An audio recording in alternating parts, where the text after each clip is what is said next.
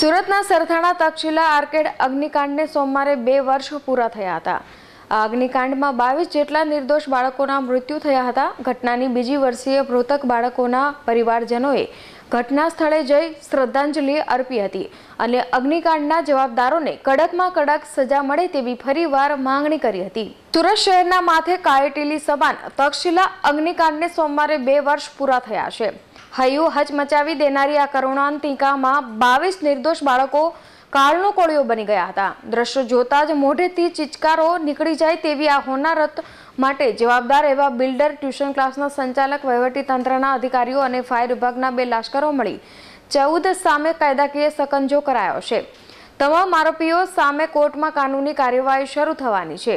બીજી તરફ ચોવીસ મહિના પછી પણ આ કેસના ખરા ગુનેગારો સુધી પોલીસ હજુ પહોંચી નથી. રેકર્ડ જોતા સ્વયં સ્પષ્ટ હકીકત છે કે દુર્ઘટનાગ્રસ્ત તક્ષશિલા આર્કેનનો એક ગોજારો ચોથા નાશ બે હજાર સોળ બે હજાર સત્તરમાં વર્ષમાં બન્યો હતો, જે તે સમયે આ ગેરકાયદેસર બાંધકામ વિશે ફરિયાદ કરવામાં આવી હતી. પરંતુ તે કોઈપણ પ્રકારની તપાસ કર્યા વિના ભેદી સંજોગોમાં દફતરે કરી દેવાઈ હતી.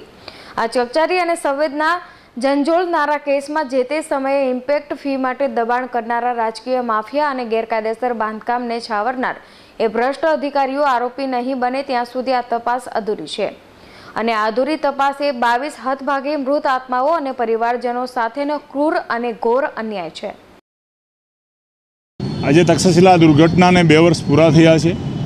આ ઘટના સંદર્ભે જે સરકાર દ્વારા મોટા મોટા વાયદા મારવામાં આવેલા હતા કે આના જબરબંધી ગમે તે કેમ મોટા ના હોય, કોઈને છોડવામાં નહીં આવે.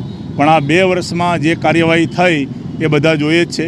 ફક્ત નાના અધિકારીઓને પકડીને મોટા અધિકારીઓને બચાવવામાં આવેલા છે. બચાવ્યો તો ઠીક, એ લોકોને બદલી કરીને પ્રમોશન પણ આપી દેવામાં આવેલા છે. અમુક શહેરી વિકાસના વડા અને ફાયરના વડાઓને જે વડાઓની મુખ્ય ભૂમિકા શહેર શહેરની હતી, એમાં એ લોકોએ શહેરને લૂંટવા સિવાય કંઈ બાકી નથી રાખ્યું. શહેરને લૂંટીને મોટા પાડા થયેલા અધિકારીઓને અધિકારીઓ ઉપર કોઈપણ પ્રકારની કાર્યવાહી કરી નથી. ફક્ત ક્લીન ચીટ આપવા માટે કાર્યવાહી કરી છે અને તેના રાજીનામા પણ મંજૂર કરી દેવામાં આવ્યા છે.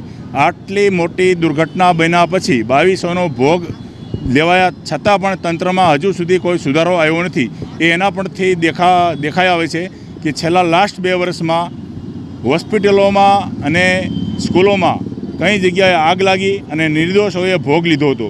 જ્યારે આ ઘટના બની, ત્યારે ફક્ત દેખાવ પૂરતા છાપરા ડોમ ઉતાર્યા. એ ફક્ત દેખાવ જ હતો અને જે એનઓસી આપવામાં આવે છે, એ ફક્ત ફક્ત કાગળમાં પૂરતી જ હોય છે. જ્યાં એનઓસી આપી, ત્યાં તમે તપાસ કરો. તો જે સ્થળ હિસાબે જે સુવિધા ફાયરની હોવી જોઈએ, એ બિલકુલ હોતી નથી.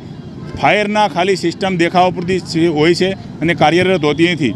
લાસ્ટ જ્યારે ગયા વર્ષે અમદાવાદમાં આગ લાગી અને અહીંયા ફાયરવાળાએ દોડધામ કરી અને સિવિલ હોસ્પિટલમાં ચેક કર્યું તો જે એની ફાયર સિસ્ટમ હતી ફક્ત દેખાવ જ હતી. એના પરથી સાબિત થાય છે કે આવડી મોટી ગંભીર ઘટના બન્યા બન્યા પછી બી તંત્રએ કોઈ પણ કાર્યવાહી કરેલ નથી.